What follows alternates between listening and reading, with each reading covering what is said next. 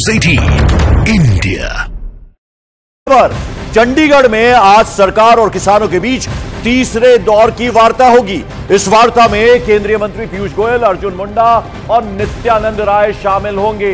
बैठक आज शाम पाँच बजे होनी है, जिसमें किसानों की मांगों पर चर्चा की जाएगी। और ऐसा माना जा रहा है कि इस बैठक में 15 से 20 किसान नेता शामिल हो सकते हैं और पंजाब सरकार से भी कोई मंत्री इस बैठक में शामिल हो सकता है। पिछली बार हुई बैठक में 17 किसान नेता शामिल हुए थे, लेकिन यह बैठक बेनतीजा रही थी। अब ये एक तरह से तीसरे दौर की बैठक है, जिसमें तीन केंद्रीय मंत्री, जिसमें कृषि मंत्री अर्जुन मुंडा रहेंगे, उसके अलावा दो मंत्री और रहेंगे, यानी तीन मंत्रियों के साथ यह बैठक होगी और अलग अलग किसान संगठनों की तरफ़ से इस बैठक का प्रस्ताव रखा गया। शाम पाँच बजे यहाँ जो ये मीटिंग होगी चंडीगढ़ में और कहा यह भी जा रहा है कि एक तरह से जो डेडलॉक है, वो टूटे। कहीं ना कहीं सहमति बने। एक ऐसा मुद्दा एमएसपी जिसको लेकर किसान अभी भी अड़े हुए हैं और दिल्ली कूच का आंदोलन उन्होंने किया था। दो दिन से ज़बरदस्त संघर्ष देखने को मिला, खासतौर पर पंजाब हरियाणा बॉर्डर पर, शंभू बॉर्डर पर। और अब कोई ना कोई नतीजा निकले, क्योंकि सरकार हमेशा से ये कहती आई है कि हम चाहते हैं कि बातचीत के रास्ते ही समाधान निकलेगा। लेकिन किसान लगातार इस बात पर अड़े हुए हैं कि एमएसपी को लेकर एमएसपी गारंटी को लेकर कानून बने।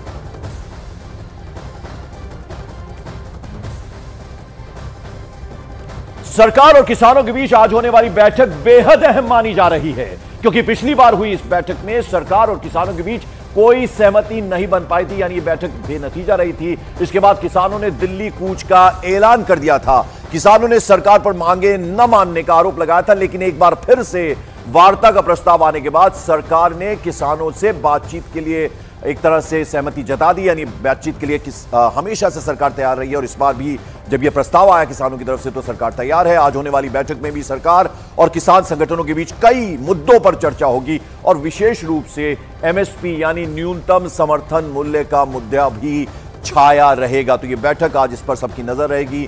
इससे पहले दो और बैठकें हुई हैं लेकिन यह बैठक जो है काफ़ी अहम मानी जा रही है। तो आपको बता दें, आज किसान संगठन अलग अलग किसान संगठन और सरकार के बीच बातचीत होने वाली है और इस बातचीत पर अब सबकी नज़र रहने वाली है। हमारे साथ हमारे सहयोगी मानव इस वक्त जुड़ रहे हैं, सीधे शंभू बॉर्डर से। मानव, हम आपके पीछे देख रहे हैं, आज कम से कम अभी बहुत सुबह इसलिए शांति छाई हुई है और आज जो बैठक होनी है, जिसमें पंद्रह किसान संगठन शामिल होने वाले हैं और यह प्रस्ताव भी किसानों की तरफ़ से आया है। सरकार की तरफ़ से भी तीन तीन मंत्री शामिल होने वाले हैं इस बैठक आ, बिल्कुल देखिए थोड़ी शांति ज़रूर है क्योंकि उसके पीछे हम युगल तस्वीरें दिखाते रहेगा उस काफिले की किसान आ, किसानों के काफिले की।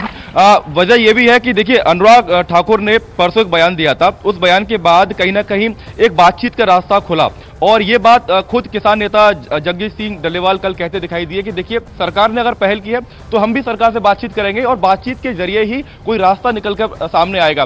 पहले दिन हमने देखा था कि किसान काफ़ी आक्रामक हुए थे, हरियाणा पुलिस भी आक्रामक हुई थी, लेकिन कल हमने ये देखा, एक रवैया ये भी था किसानों का कि किसान नेताओं की तरफ़ से ये कहा जा रहा था कि आपको आक्रामक नहीं होना है और जोश में आपको होश नहीं खोना है युवाओं को खासतौर से इस तरीके से संदेश दिया जा रहा था। तो अब ये कहा गया है कि आज यहीं पर डेरा डाल के किसान बैठेंगे और बैठक के बाद ही रणनीति तय होगी कि दिल्ली की तरफ़ जाना है या नहीं जाना है, क्योंकि कल देर रात हमारी बातचीत हुई थी जगदीश सिंह डलेवाल, किसान नेता से, और उन्होंने ये कहा था कि हमको बहुत उम्मीद है, क्योंकि किसान सरकार ने पहल की है तो हमारी भी कोशिश ये है कि हम सरकार के सामने जाएँ, अपनी बातों को रखें। और एक बात उन्होंने साफ़ ये भी कहा कि जो पत्र मांगों का हमने शुरुआत में भेजा है, हमारी वही मांगे हैं। हमने कोई नई मांग उसमें एड ऑन नहीं किया नई नई मांग जोड़ी नहीं है। दूसरी तरफ़ कल यहाँ पर शंभू बॉर्डर पर एक किसान नेताओं की संगठनों की बैठक हुई थी। उसमें यह निर्णय भी लिया गया था कि सरकार बातचीत करना चाहती है तो हम बातचीत करने क्यों नहीं जाए? उसके बाद बाकायदा शाम को तो यानी मानव समझा जाए जो आपके पीछे अभी शांति नज़र आ रही है हालाँकि अभी बहुत सुबह है लेकिन आज किसी तरह का संघर्ष किसी तरह का टकराव या नहीं होने वाला। पाँच बजे का इंतज़ार रहेगा। यहाँ पर भी लीडरशिप रहती है मौजूद। तो ये मैसेजिंग हो जाती है कि आज शाम को पाँच बजे देखते हैं सरकार और किसान संगठनों के बीच में किस तरह की सहमति बनती है।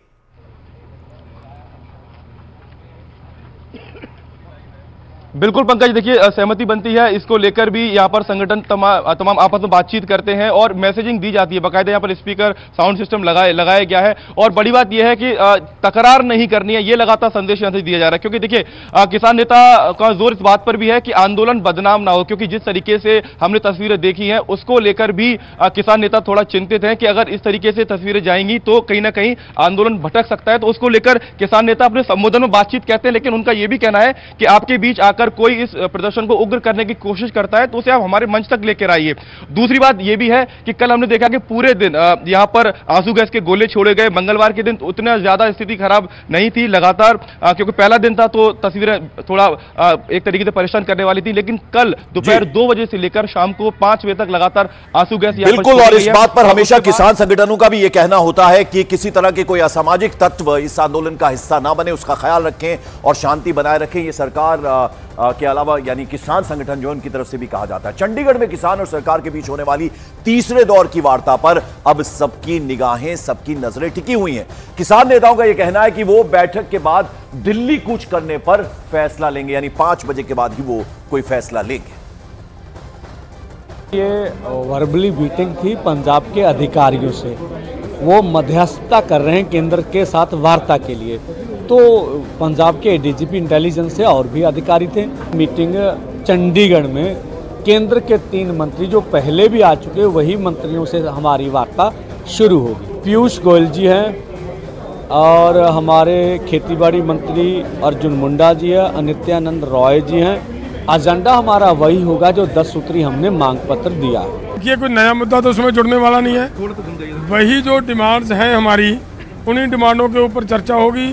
पत्र आ चुका है, अधिकारियों के पास पत्र आ गया उसकी कॉपी निकालने वाली है, निकाल कर दे देंगे हमें। शाम पाँच बजे की बैठक की टाइम दिया गया है, उसमें तीन मंत्री आएँगे और तीन मंत्रियों के साथ कुछ मामले जैसे हमारे पंजाब के जो आंदोलन के शहीद हैं, उनके बच्चों को नौकरी दिलाने का मामला है। मैं उस मामला वो पंजाब सरकार के साथ भी थोड़ा जुड़ता है, उसके लिए मैं निवेदन करता हूँ उस हमारे मुख्यमंत्री जी को, वो भी इस बैठक में ज़रूर आएँ।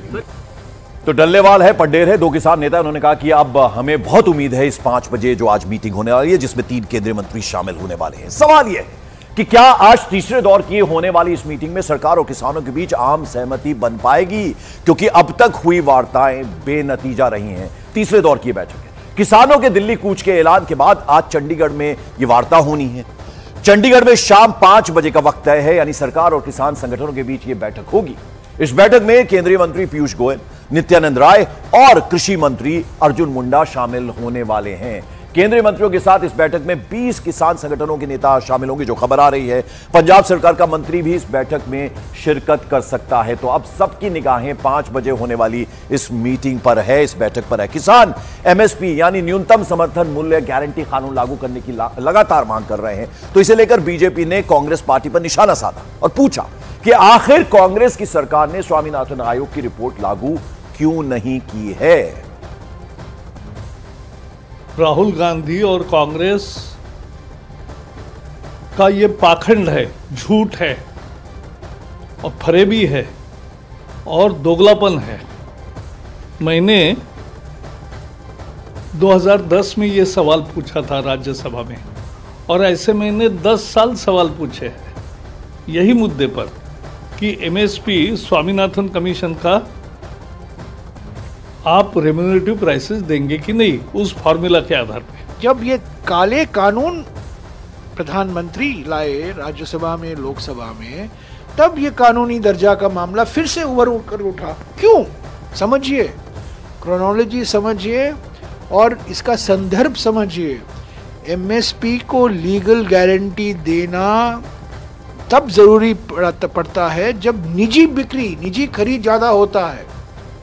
वो जो तीन काले कानून लाए गए थे, वो सारे हमारे कृषि का निजीकरण हो रहा था।